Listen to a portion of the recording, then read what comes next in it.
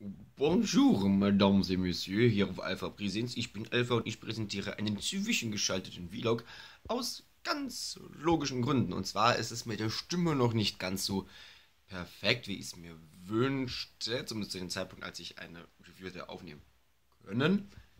Sprich gestern.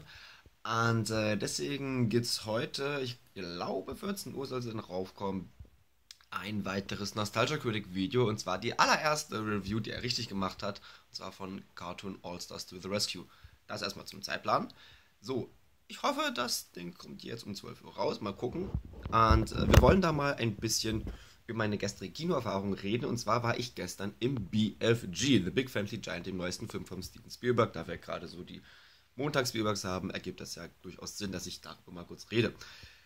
Zuallererst, wer den Film mal sehen möchte, sei definitiv gesagt, dies ist ein Kinderfilm. Wirklich, wirklich ein Kinderfilm. Es ist auch Familienfilm, ja, aber es ist etwas anders als die Familienfilme, die heutzutage gemacht werden. Solche Sachen wie von Pixar, von Illumination Studios und so weiter.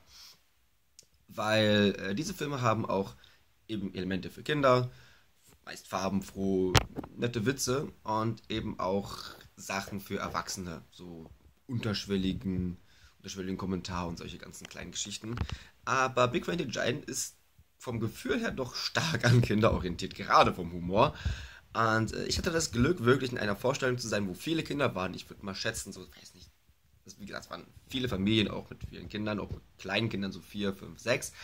Und für die ist der Film wirklich gedacht und gemacht, gerade vom Humor und was da alles abgeht. Und äh, dadurch, dass die Kinder drin waren und so an bestimmten Stellen wirklich herzhaft gelacht waren, äh, wirklich herzhaft gelacht haben, hat der Film auch wirklich viel Spaß gemacht und ich hatte auch meinen Spaß.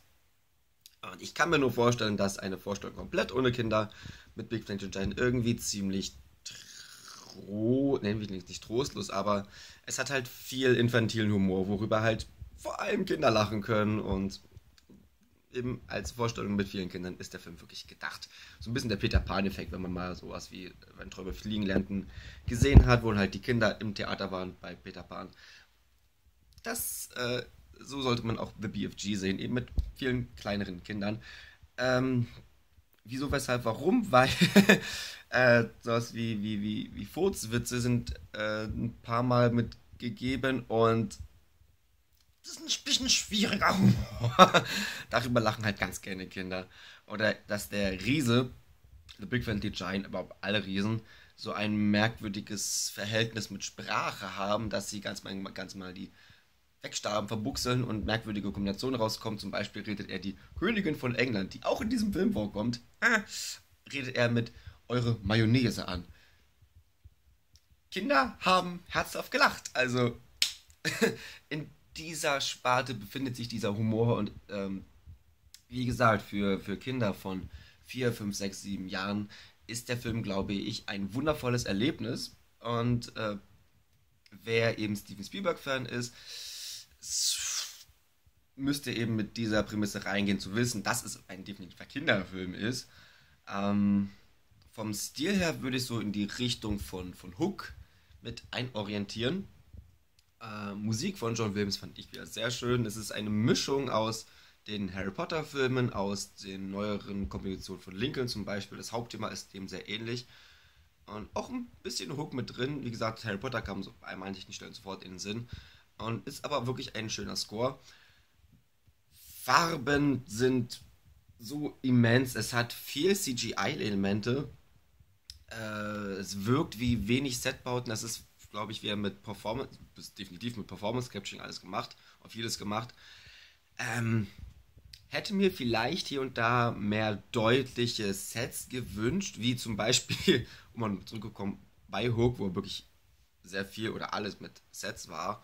Das hat dem Ganzen einen sehr bodenständigen Charakter gegeben. Hier war wirklich sehr viel Computer. Das hat dem manchmal ein bisschen nicht gut getan, aber wie gesagt, äh, moderne Sehgewohnheiten ja, würden da, glaube ich, drüber hinwegsehen. Und es ist, um mal zum Schluss zu kommen, ein sehr schöner Kinder-Familienfilm.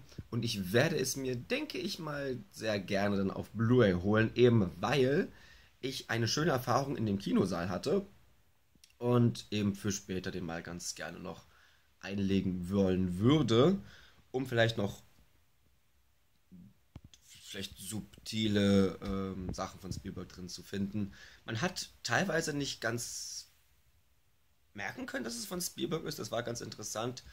Ähm, es, rundherum fand ich es einen schönen Film.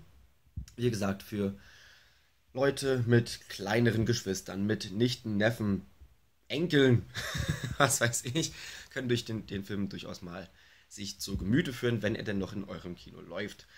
Und äh, das wäre es jetzt auch, glaube ich, schon wieder mit mir und Big Friendly Giant. Wie gesagt, ich hoffe, die Review kommt dann auch um 12 Uhr hoch auf den Kanal und freut euch dann auf 14 Uhr definitiv auf die Nostalgic Critic, die erste Episode, die er jemals gemacht hat, mit meinen Untertitelungen.